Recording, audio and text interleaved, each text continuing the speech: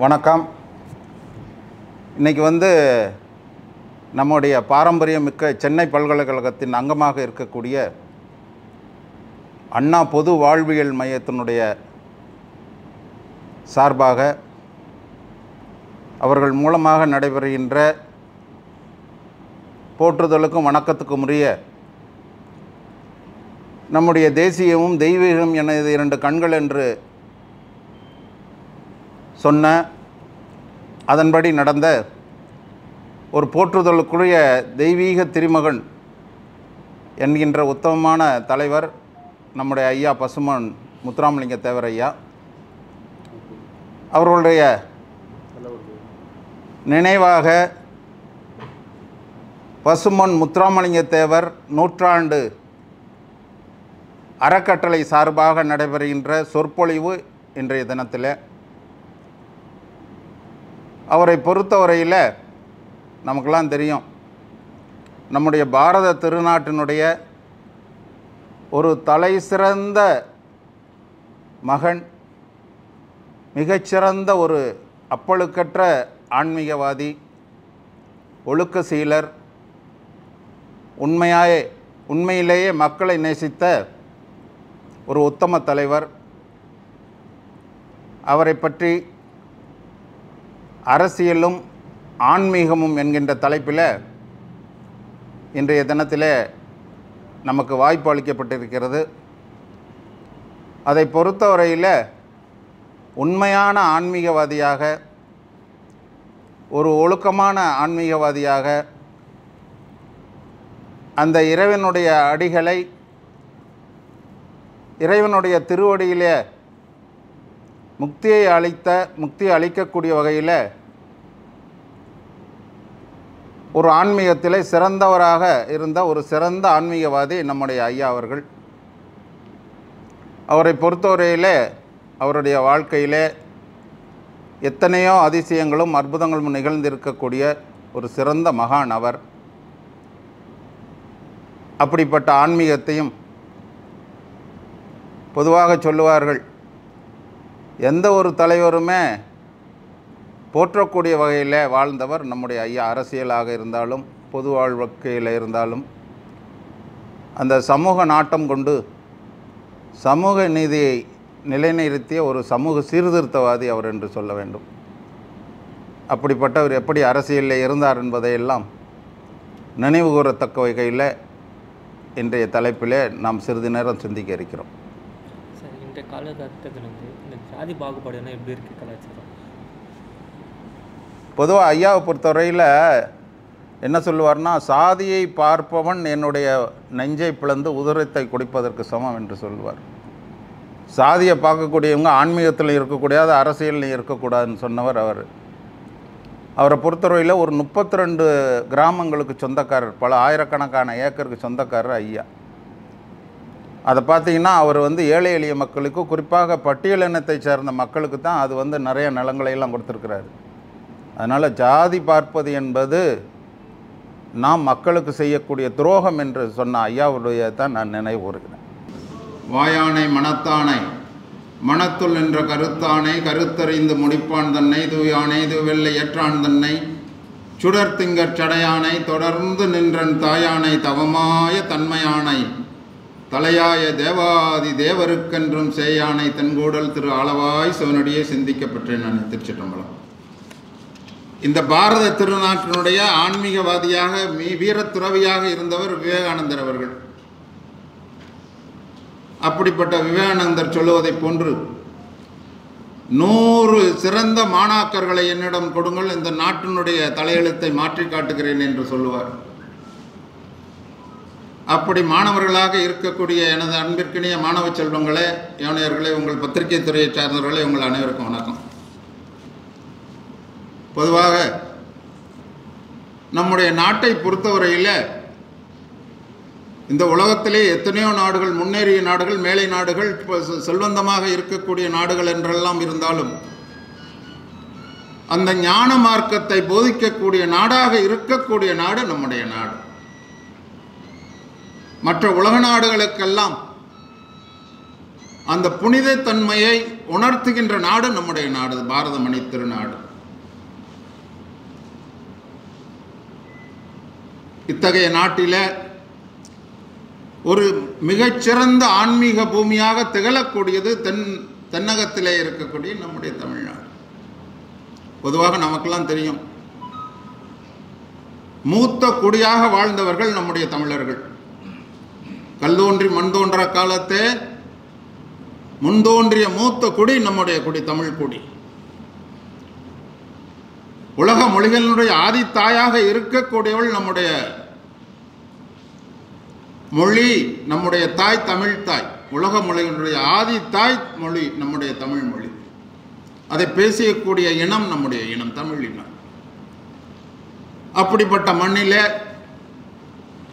எத்தனையோ ஆன்மீகவாதிகள் ரிஷிகள் முனிவர்கள் வாழையடி வாழையென வந்த ஜீவன் முக்தர்கள் ஞானிகள் தோன்றிய பூமி இந்த பூமி. அப்படிப்பட்ட பூமியில மிகச்சிறந்த ஆன்மீகவாதியாக அப்பழுக்கற்ற ஆன்மீகவாதியாக ஒழுக்க சீலராக வாழ்ந்து மறைந்தவர் நம்முடைய ஐயா பசும் முத்துராமலிங்கத்தேவர் ஆன்மீகம் இங்கே இருக்கு. உயர்ந்த இடத்துல இருக்கக்கூடிய உண்மையான ஆன்மீகத்தை சொல்றேன். அந்த காலத்தில் தேவரையா காலத்தில் இருந்த ஆன்மீகம் அது. சும்மா காய் வேட்டி கட்டிட்டு உருத்திராக்கம் போட்டு விட்டு நீர் பூசி இருப்பவர்களெல்லாம் ஆன்மீகத்தில் இருப்பவர்களாக ஏற்றுக்கொள்ள முடியாத காலம் இந்த காலம். அப்படிப்பட்ட நிலையிலே இருக்கக்கூடிய ஆன்மீகத்தை அது இப்போ இருக்க அரசியல்லாம் பக்கத்திலே போக முடியாது. அதுதான் உண்மை. பார்த்தீங்கன்னா நம்ம நாட்டில் தான் புத்தர் பிறந்தார். ஒரு நல்ல மார்க்கத்தை போதித்த ஜீசஸ் பிறந்த பூமி இந்த நம்முடைய உலகம். முகமது நபி போன்ற பெரியவர்கள் எல்லாம் தோன்றினார்கள் ஆன்மீகத்தின் காரணமாக. சங் ரூசோ என்கின்ற ஆன்மீகவாதி தோன்றினார். குருநானக் கபீர் போன்றவர்கள் எல்லாம் தோன்றினார்கள். நம்முடைய மண்ணை பொறுத்தவரையில் நால்வர் பெருமக்கள் என்று சொல்லக்கூடிய வகையில் ஞானசம்பந்த பெருமான் அப்பர் பெருமான் சுந்தரர் மாணிக்க வாசகர் போன்றவர்கள் எல்லாம் தோன்றினார்கள். நாயன்மார்கள் அறுபத்தி மூணு நாயன்மார்கள் பன்னிரெண்டு ஆர்வலர்கள் எல்லாம் தோன்றிய பூமி இந்த பூமி ஆன்மீக தன்மை கொண்டவர்களாக இருந்தவர்கள். ஆன்மீகத்தின் மூலமாக நம்ம எல்லாம் நல்ல வழியிலே கொண்டு சென்றவர்கள் அவர்கள். ஆனால் அந்த அரசியல் என்ன செய்திருக்கிறது இதுவரை?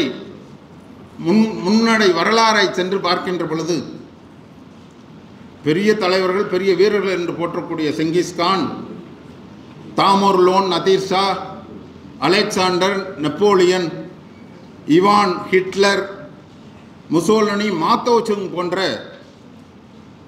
இப்படிப்பட்ட தலைவர்களை உரு உருவாக்கி இருக்கக்கூடியது அரசியலாகும்.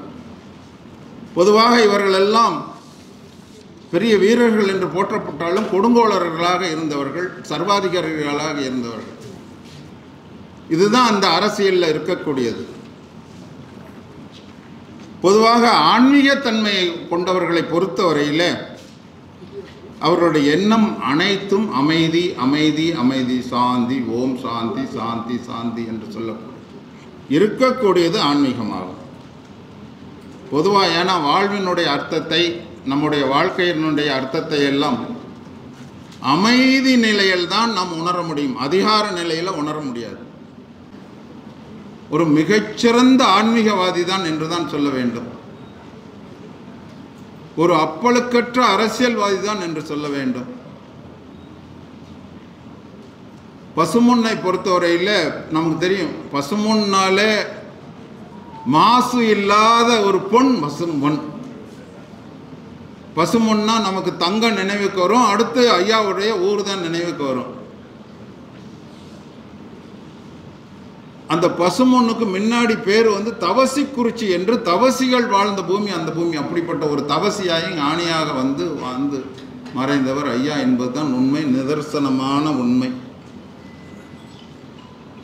அதனால அவர் ஒரு சிறந்த ஆன்மீகவாதியாகத்தான் நாம் நினைக்கக்கூடிய வகையிலே அவருடைய செயல்பாடு இருந்தது. அவர் ஆன்மீகத்தில் இருந்தார்னா எத்த பெரிய ஒரு நிலையை மக்களுக்கு கொண்டு போய் சேர்த்திருப்பார். அவர் பல இடங்களிலே சொல்லுவார் அவர் ஒரு சமயத்தை சார்ந்தவர்களுக்கு மட்டுமாக ஒரு ஆன்மீக தலைவராக இருக்கவில்லை. அவர் என்ன என்ன சொல்கிறாருன்னா பக்குவப்பட்ட ஆன்மாவை உடைய ஒருவன் ஒரு ஒருவன் இந்து கோயிலிலே காட்டப்படுகின்ற தீப வெளிச்சத்தையும் இந்து கோயிலில் காட்டுகின்ற தீப வெளிச்சத்தையும் கிறித்துவ வளாகத்திலே வைக்கின்ற மெழுகுவர்த்தி ஒளியையும் கிறித்துவ வளாகத்திலே வைக்கக்கூடிய மெழுகுவர்த்தி ஒளியையும் முகமதியர் ஊதுபத்தியிலே காணுகின்ற சுடரையும் தன் சரீரத்தின் இருட்டை போக்க எழுப்ப வேண்டிய ஞான விளக்கின் சொருமமாக காண்பான் உண்மையான ஆன்மீகவாதின்னு சொல்றார். இதுக்கு மேலேயா நமக்கு விளக்கம் வேணும்? மத நல்லிணக்கத்தை போற்ற மகான் நம்முடைய ஐயா தான். ஏன்னா நமக்கெல்லாம் தெரியும்.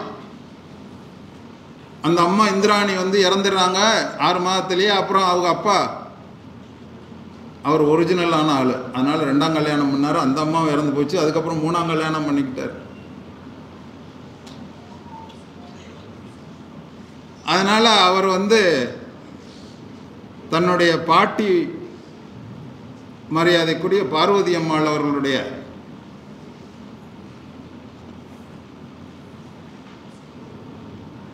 வளர்ப்பில்